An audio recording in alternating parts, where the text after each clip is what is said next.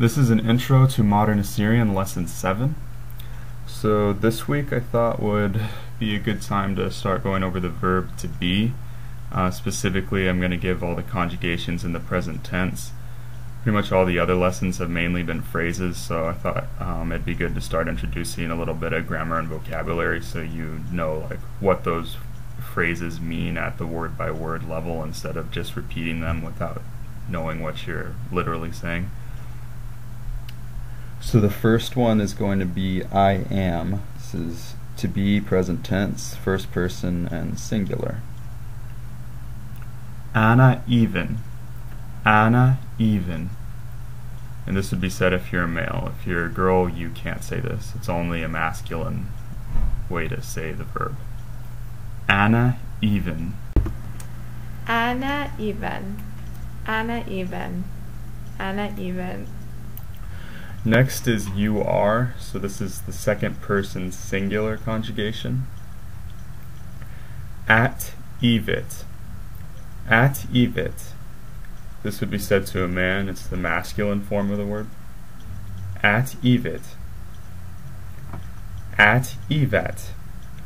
At evat. This would be said to a woman, so it's the feminine.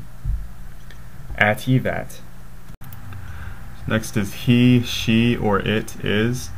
So this is the third person singular conjugation. Um, there's not really a specific word for it, it just depends on whether you're talking about a masculine or feminine object. Again, in Assyrian, like in a lot of other languages, all nouns have a gender. Av ile. Av ile. This would be he is, or it's the masculine of it is. Av ile. Ella ila. Ella ila. This would mean she is. It's the feminine form. Ella ila. Next is we are. So this is the first person again, but now in the plural. Achnan ivach. Achnan ivach. Then in the plural there's no gender difference. This just means we are. Achnan ivach. Next is you are, so this is the second person again, but this time in the plural. Achtun itun. Achtun itun. Again, in the plural, there's no gender difference. This is just when you're talking to more than one person, this means you are. Achtun itun. Finally is they are, so this is the third person plural. Ani ina. Ani ina. Again, there's no gender difference. This means they are. Ani Ina. These are just going to be some quick notes on grammar and pronunciation. So, big thing, in Assyrian the subject pronouns can be dropped. Um, you might recognize this from some other languages. There's lots of languages that do this, like Spanish or Persian, for example. Just you don't need the subject pronoun to have a complete sentence. As you probably noticed in the other lessons, the subject pronouns are usually put back in to add emphasis in spoken Assyrian. Also, you probably see at the beginning of all of the different forms of the verb to be, the E sound can usually be dropped, or it'll either be dropped or absorbed into the word before it, so it's only pronounced sometimes. So here's some vocabulary for this week. It'll just be a couple words, but you should be able to start using them now. Yala. Yala means boy. Yalla brata. Brata means girl. This also means daughter. Brata. Rama. Rama. Ramta. Ramta. This means tall. Rama is the masculine form of the adjective, and Ramta is the feminine. Shapira, Shapira, Shapirtha, Shapirtha beautiful.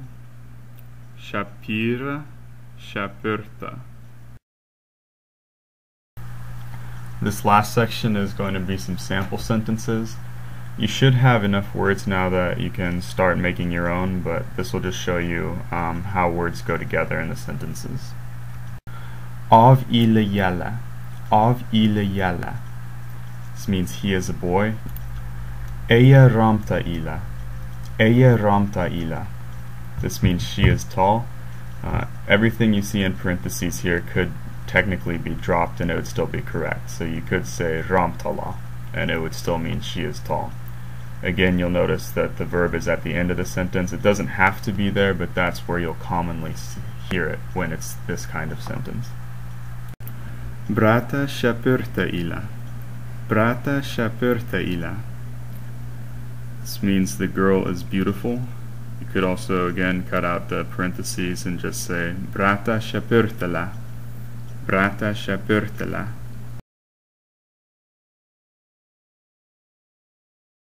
So that's the end of lesson 7, so I hope you enjoyed it and that it was helpful. Um, you should have enough words by now to start constructing your own sentences if you want to. Um, simple sentences at least. Uh, again, I'm happy to answer any questions, can go over the vocabulary from this lesson and the ones past and start getting creative with it, I guess. So, thanks for watching. Merci.